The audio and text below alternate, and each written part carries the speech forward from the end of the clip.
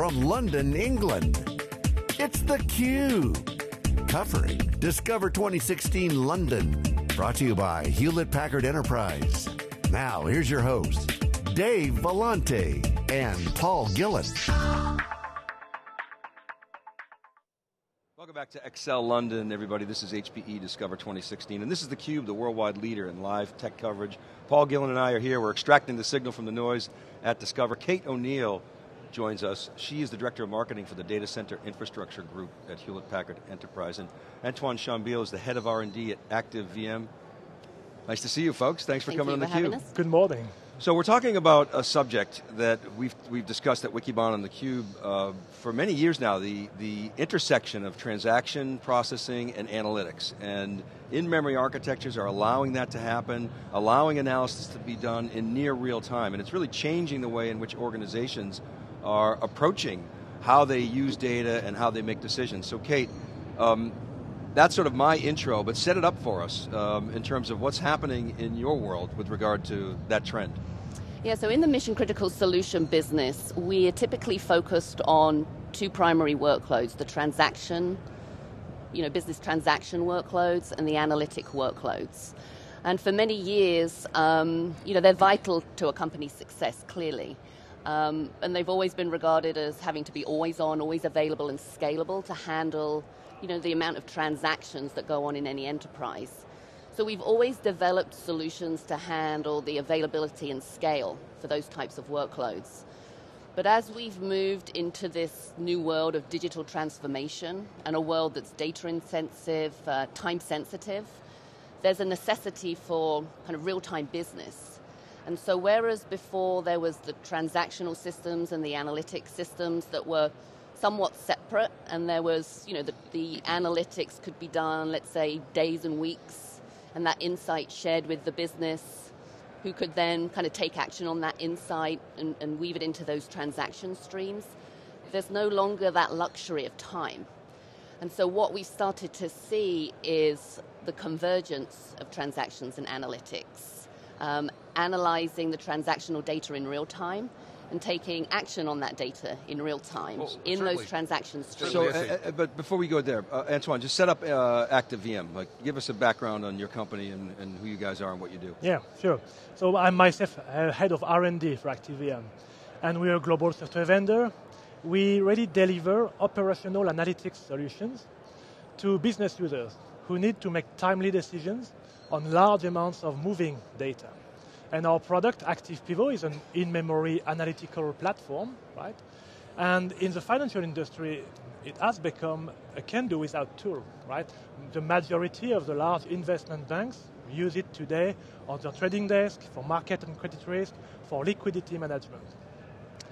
But this trend is only intensifying uh, recently with the coming of new financial regulations such as the FRTB, uh, a worldwide new regulation the fundamental review of the trading books. It's like a new framework for banks to calculate and report the risks and the capital requirement. And the new methods uh, will require them to process amounts of data tens and tens of times larger than before. So it's become a real big data problem. Now, we, over the last two years, there's been so much talk about Spark as, as an in-memory analytics platform. Yeah. Uh, Spark is not sufficient for what your customers need to do. Is, is that right? You found a, hmm. a corner of the market that open source is not addressing. Yes, I would tend to agree. That, that's the feedback I got from, from my, my customers in this area. Yeah. You know, uh, for FRTB, if we stay on this uh, example, right, the banks have started to leverage uh, those big data tools, Hadoop, Spark, with some success uh, for the storage part and for data preparation maybe. But when it comes to the analytics and the calculations themselves, yes, uh, it's been very disappointing to the business users, right? Some of them even say that they feel sent 20 years back in time. Why? Well, Too I'm, slow? I'm sure they exaggerate, uh, but it's not, it's not the speed or the slowness, it's the interactivity of it, right? Batch-oriented technologies go more and more against uh, uh, the aspiration of the business users. For, for instance, even in the presence of very complex calculation, non-linear financial calculations, a trader would like to calculate on the fly the impact of a potential deal on the capital requirement of the bank. Right now, not tomorrow, not after tomorrow's batch. Or another example would be the risk controllers in an investment bank. They like to play with the parameters of calculations to, to see how it goes, to see how it moves, changing uh, the liquidity horizon, for instance, of a, of a calculation, or uh, rearranging a booking hierarchy to see if they can optimize capital allocation. And that requires redoing the calculation again and again interactively in the hand of the end users, which, yes, is not, cannot be done fast enough even with Spark. So, Kate, I mean, you were talking about sort of those two worlds coming together. The, the practice previously or historically has been I got my transaction system and I have my data warehouse right. somewhere else.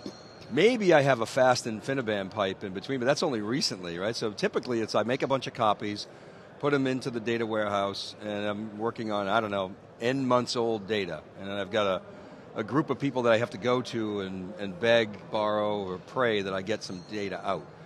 So it, is that sort of changing, and how fast is that changing? Um, well, it's changing through necessity mm-hmm. because businesses can only be successful, can only compete if they can start to behave in real time. So if you think of a retailer, um, you know, they're looking at a promotion that they're running online or in store.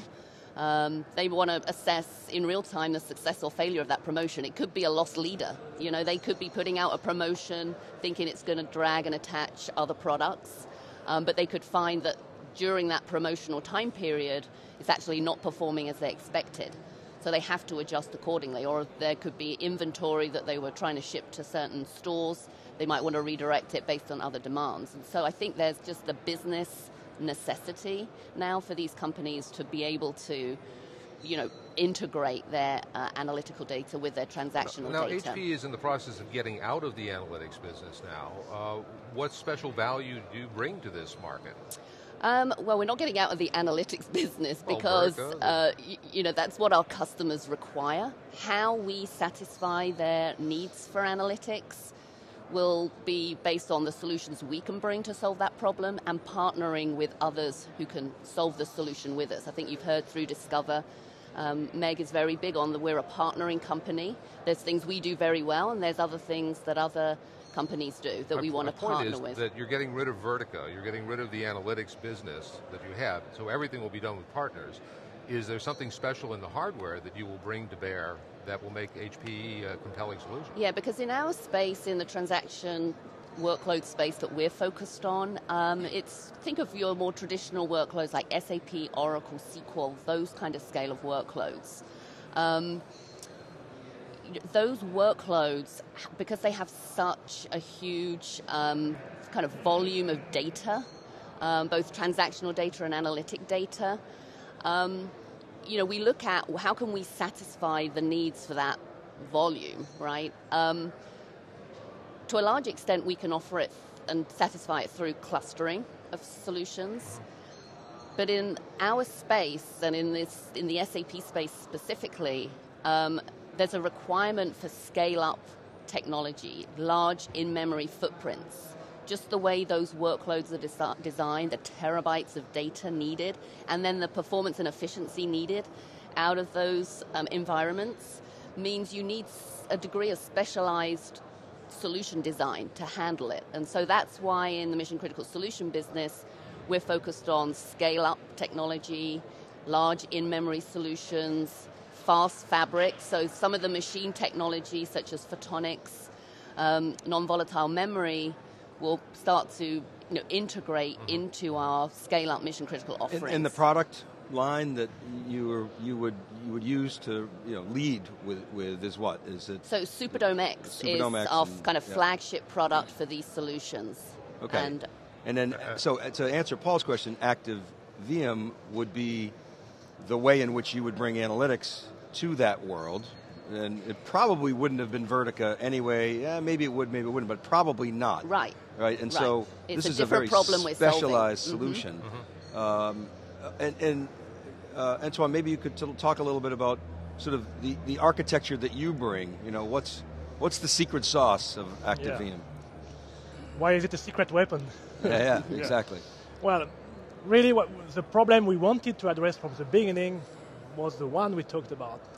the ability to do everything on the fly from the raw data, which is the ultimate solution for real-time analytics and interactive calculations. And for that, we benefited from the power of in-memory computing that's been raising in the last 10 years, and of course, multi-core processing. So our product, Active Pivot, is that. It's a fusion between an in-memory analytic database and a calculation engine. Both uh, fusion together, right? And it's also built on the Java platform, which makes it very easy for developers to roll out custom calculations that will run at the full speed of the engine. Uh, internally. Okay, and so, so please go ahead. Sorry. Well, I'm wondering why why are you at, at, this event? I mean, what did HPE bring? What does HPE bring to your solution that nobody else yeah, can match? I, I could cite the example of um, one of our large customers, a large investment bank in, in France. So recently, they were already using Active Pivot in many places, trading desk, market risk, liquidity with fairly large projects, one, two, three terabytes of memory maybe, on, but on standard server. Mm-hmm. And two years ago, they came to us and they said, we warn you, those FRTB calculations coming in two years, they will require 10 or 20 terabytes of data. How are we going to keep our interactive model? Uh, how are, you going to help us? And through those, through those two years, we've looked at several options together. We've looked at uh, uh, Hadoop and Spark we've looked at scaling out active pivot on the cluster. And at the end, they also evaluated uh, large memory servers, uh, and that's, that was their choice in the end. Of course, they chose the Superdome X from HP. And this partnership with HP, that's what allowed us to, to come up with a solution up and running for them, ready to, for them to start on this new challenge. And SAP HANA has been a platform that you're offering to customers as, as part of this solution. Is that, is that correct? Yes, so um, what's what, what we're noticing is kind of a, a, a, mission critical renaissance, if you like. So these class of systems, these scale up in memory systems, um, very much are designed for markets like SAP HANA, mm-hmm. right? Just because just where that um, solution offering is going. Um, you know, we've worked very closely with SAP to provide a system that can scale to the terabytes of data that's really needed to handle that. But interestingly, it's kind of exposed us to other adjacencies, and I think that's what ActiveViam is is talking about, right? That it's not just kind of an SAP type environment that needs this type of scale of analytics and transactions and you know memory footprint. Um, as uh, Antoine was saying, you know, in the um, financial investment banking, with the trading books, you know, and the regulatory requirements, it's just kind of given them an explosive amount of data that they have to handle, and they're looking at solutions such as Superdome X for its memory footprint to handle it. So the reason I was asking this is an interesting subtext here, which is that a lot of you know, what I described before is you get the transaction system and the data warehouse. A lot of times that data warehouse in financial services is Oracle. And SAP HANA is obviously sort of the anti-Oracle. Uh, uh, so what are you seeing in terms of the dynamic there? Is it, is it correct that there's a lot of Oracle, obviously, in financial services, and yeah. how is that shaping up? How's the, how's the battle going? Well, there will still be a lot of Oracle. In, yeah. it, it's, it's mostly used for book and record, I would say. Transactional recording of transactions. Mm-hmm. But yes, uh, when it comes to the calculation and the analytics, uh, new solutions are shaping up the future, I would say. And uh, you were talking about uh, SAP HANA what's the difference maybe between uh, ActiveViam and SAP HANA, if you, if you want to know? It's, it's the ability to do the actual calculations, uh, not just being SQL queries faster, but implementing the actual calculation that will give you a value at risk, uh, a potential future exposure, or the capital requirement for FRTB. This is what's not addressed yet by traditional uh, relational databases, in memory or not. You, uh, uh, HP making some noise at this conference about, uh, for the first time, about the machine, revealing yeah. some details about the architecture, and Silicon Graphics uh, high performance computing. Clearly, this is a, a, strategic area for them. What, as a, an R&D uh, a person, what you, what excites you about the machine? Well, I've spent uh, maybe three hours talking with the engineers of the, the, of the lab stand, of course. Well, what, what's exciting is two things. First, it will make it possible to run even bigger workloads in memory and more in a more cost-effective way, I say. And also what the machine is bringing, well, I mean, that's what I understood of it is that it will be the, the flexibility will, will be to instantiate your application. It, it, it, looks like a big pool of memory and processing uh, where you can start on demand and consolidate your in-memory workload. So without having your application bound to a server anymore. So it's well, certainly very what, exciting. What orders of magnitude improvement in, in processing speed do you expect to see from this pooled memory uh, photonics uh, architecture? Well, I would have to to run it in the lab myself, but I already know that you can uh, expect a, a, factor 10 in the size of the data that you could put in memory mm-hmm. while remaining cost effective, that's for sure. We, we, are out of time, but I have, I have to do a little more research here because the fundamental review of the trading book as a, a primary now regulation, you're saying it's global. Yes. So that's critical. It's affecting everyone, and it's going to be sort of on the minds of folks. Uh, but it seems to me that the, if this is real time, that the way in which you protect data is going to have to change. That sticking a purpose-built backup appliance with traditional backup methodologies for something that's real time, transactions and analytics, isn't going to cut it. So how, first of all, is that a correct assertion that the way in which you protect the data is, is going to change? Is that true? Or have we not thought that through yet? You know, I think that all the standard ways we've done things need to be kind of looked at, right? Just whenever you do new, um, you know, find new ways of doing things, you mm. open and expose other risks. And right. so I think there all those factors need to be kind of taken into consideration. Okay. All right, great. I, I, have some thoughts on that. Maybe we could talk offline. All right, we got to go. Thanks very much. It was All really right. interesting. Thank you very Appreciate your time. Thank All right, you. keep right there, buddy. Paul Gill and I will be back with our next guest. We're live from London. This is theCUBE. This is HPE Discover 2016.